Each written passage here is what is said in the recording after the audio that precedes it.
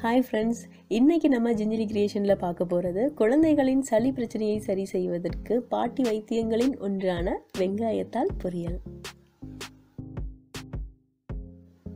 நான் வந்து எங்கள் வீட்டு செலவுக்காக கொஞ்சம் முன்னாடியே வீட்டுக்கு முன்னாடி கொஞ்சம் வெங்காயம் வந்து ஊனி வச்சுருந்தேங்க. இது வந்து பார்த்திங்கன்னா இப்போ ஒன்றரை மாதம் ஆன வெங்காயம். அதை தாளோடு எடுத்து வச்சுருக்கிறேன். இது வந்து இப்போ என்ன பண்ண போகிறோன்னா இதெல்லாம் நல்லா க்ளீன் பண்ணி கட் பண்ணி வச்சுக்கலாம். அதுக்கப்புறம் சின்ன வெங்காயம் கண்டிப்பாக நீங்கள் இது வந்து சின்ன வெங்காயம் தான் போடணும். சின்ன வெங்காயம் பூண்டு உங்களுக்கு தேவையான அளவுக்கு பூண்டு போட்டுக்கோங்க. கருவேப்பிலை போட்டுக்கலாம். மிளகா மிளகா தூள்லாம் வேண்டாம். ஏன்னா குழந்தைக்கு கொடுக்க போகிறப்ப அதெல்லாம் வேண்டாம். மிளகு வேணால் சேர்த்திக்கிறேன்னா சேர்த்திக்கலாம். கொஞ்சம் குழந்தை வந்து கொஞ்சம் பெரிய குழந்தை ஒரு அஞ்சாறு வயசு ஆகிருந்தது அப்படின்னா மிளகு போட்டுக்கலாம். இன்னும் அதுவும் வேண்டாம். இதே போதும்.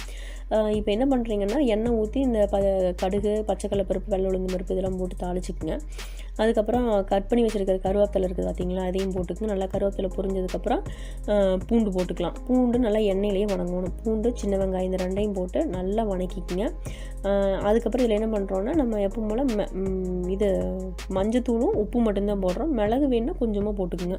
போட்டு நல்லா எண்ணெயிலேயே இது எல்லாமே நல்லா வணங்கிடணுங்க. வணங்கினதுக்கப்புறம் நீங்கள் க்ளீன் பண்ணி வச்சுருக்கிற இந்த வெங்காயத்தால் போட்டால் போதும்.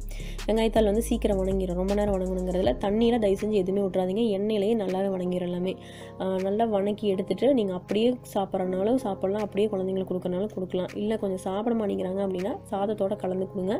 கண்டிப்பாக நெஞ்சில் கட்டியிருக்கிற சளி எல்லாமே கரைஞ்சி வந்துடும் பாட்டி வைத்தியத்தில் ஒரு பெஸ்ட் இது இதை நீங்களும் வீட்டில் ட்ரை பண்ணி பாருங்கள் தேங்க்யூ